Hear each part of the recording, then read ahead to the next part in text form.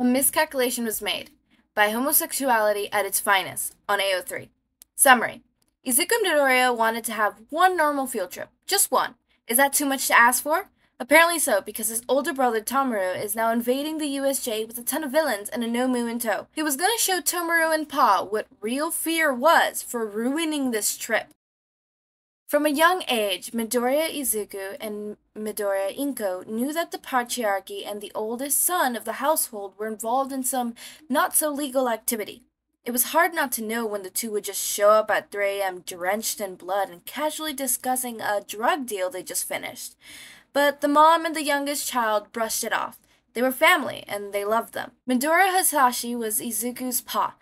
He loved his father more than anything, and the two could talk about quirks for hours if they weren't interrupted. And when a young four year old Izuku had developed his pa's quirk, being able to take and give quirks as he pleased, well, his pa had been ecstatic. His pa had gifted Izuku with a few quirks to protect his youngest one called Familiar Calling, which could teleport any family he pleased to his exact location in case of an emergency. Along with Family Calling came healing quirks, minor speed and ability quirks, and so on.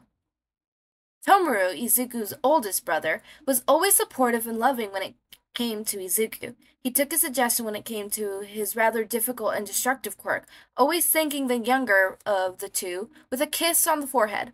That was until Pa's unavoidable battle with All Might. The man had used to be Izuku's favorite hero, but when he took Pa away, it had been unforgivable. Pa and Tomura had to go to hiding. Pa had to get strong and find a quirk that could heal him so that he could be with his family once more. They didn't mean that Izuku and Inko didn't visit the pair quite regularly. Getting well acquainted with Komuro, who was a Nomu in charge of catering to Tomura's needs, may have, Izuku adored Komaru and called him Uncle Grill, and always chatted away about the Miss Man's quirk. This routine carried on for years until the fateful day when Izuku had encountered All Might. He may hate the hero now, but he was still the number one hero, and he asked the question that had plagued him since his quirk had developed. Can someone with a villainous quirk be a hero? And that piece of shit had shot him down, told him to be more realistic, that the hero industry would chew him up and spit him out. It broken the teenager's heart beyond belief, but when he saw Kacchan, someone who bullied him menacingly since childhood under the assumption he had a weak healing quirk, in trouble, he couldn't help but involve himself. He ignores the heroes crying out, after him as he fought tooth and nail to save his best friend turned bully from the sludge. And suddenly All Might was there, blowing the sludge villain away with a single punch. Time passed on as a blur as a Viridian eyed boy, the scalding from the heroes falling on deaf ear, and when he finally escaped, he wanted nothing more to fall into Pa's arms and cry his heart out. Then All Might had appeared once more, told him that he could be a hero, and offered him his quirk. Izuku, of course, knew about All Might's quirk, the history behind it, he knew more about it than All Might did. Pushing apart any thoughts that told him not to, he accepted the quirk, and while he trained his body to be able to handle it, he didn't speak a word of it to his family. That's probably how he got in this situation, honestly. After accepting the quirk, getting into UA, the quirk assessment, and the breaking in the day before, Izuku didn't think the Lady Fate could throw any more curveballs at him. That train of thought is probably the reason why Lady Fate decided to laugh in his face and make the entire situation happen. He'd been at USJ, vibrating beside Uraraka and Shinso as he chattered on about the facility. Thirteen's quirk and everything that was going through his head with the familiar purple mist appeared around the fountain in the middle of the plaza. His stomach twisted uncomfortably, and he just knew that this was about to be a complete shit show. Out came Tomura, a Nomu, and Kurogiri, the only three who recognized in the large crowd of villains. Indignation rose in the teenager's chest. How dare they come here and ruin his field trip? He'd been talking about it since he found out. Pa and Tomo knew how excited he was at this field trip, yet they pulled this shit? Izuku let out a low growl, shoveled past his fellow classmates and past his teacher, easily dodging Aizawa sensei's capture weapon. Whether the criminals could feel the murderous intent coming off of Izuku or Tomaru had something to say to them, he didn't know. But the villains parted like the Red Sea as he stomped down the steps and towards his brother and uncle. Uncle Grill gave Izuku a small bow as the teenager approached, appearing as meek as a man made of mist could. I apologize, young Izuku. I tried to dissuade your father and brother, but they insisted. Izuku radiated green eyes moved away from Kurogiri and landed on his older brother. What in the name of Kama do you think you're doing, Midoriya Tomura? Sweat dripped down the villain's neck as he looked at his little brother. Izuku never called him by his full name unless he was pissed. Tomura put a hand up to scratch his neck nervously, but was stopped by Izuku clasping his wrist gently. No scratching. Now, answer the question before I use Familia calling and bringing Mama into this. Oh fuck, Tama would rather go to Tartarus than deal with Mom being mad at him.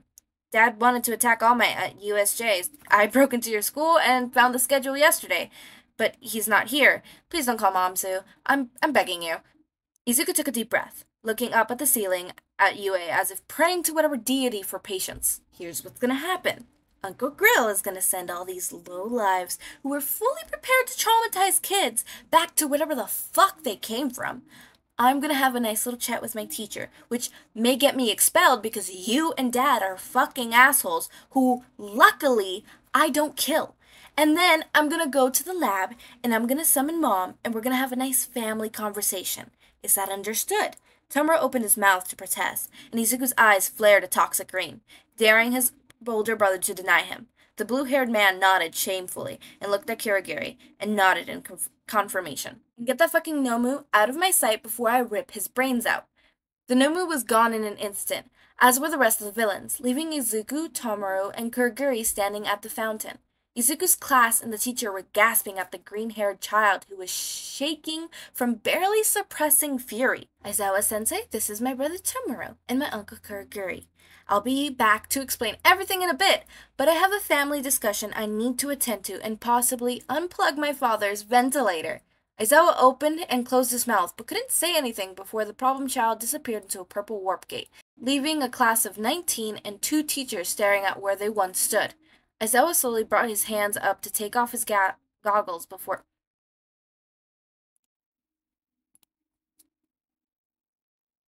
Leaving a class of 19 and two teachers staring at where they once stood. Aizawa slowly brought his hands up to take off his goggles before turning to 13. What the fuck just happened? When the trio arrived at the lab, Izuku was no longer hiding his fury, glaring daggers at his brother who was shifting anxiously from where he stood.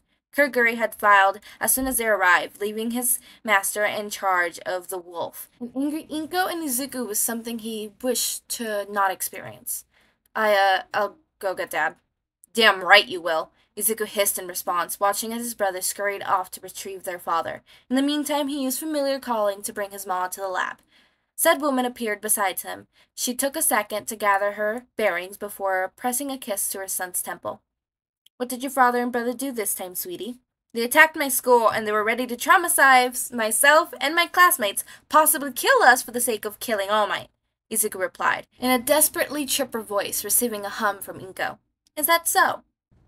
When All for One and Tomaru arrived, both looking terrified, the mother and son were standing side by side, glares leveled on their loved ones. Hisashi, Tomaru, she greeted, ice cold as steel. Hi, Ma, Tomaru replied meekly, trying to shrink beside his father. Hello, darling. What do I owe this pleasure of seeing my beautiful wife and son?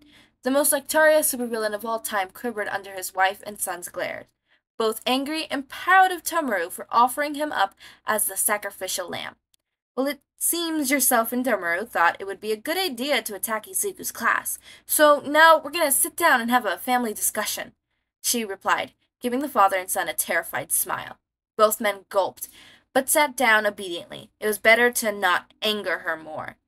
If later that day Izuku came skipping back into class, a chipper smile on his face, and greeting everyone as if nothing had happened, well, everyone at UA was just gonna have to get used to the peculiars of Midoriya Izuku and his fucked up lineage. I wonder how that whole ordeal is gonna unravel when uh, All for One realizes that Izuku has one for all. You know, that that's going to be a very interesting family dinner for sure. Make sure to eat, sleep, drink water, take your meds, and have a wonderful day or night. And thank you for watching.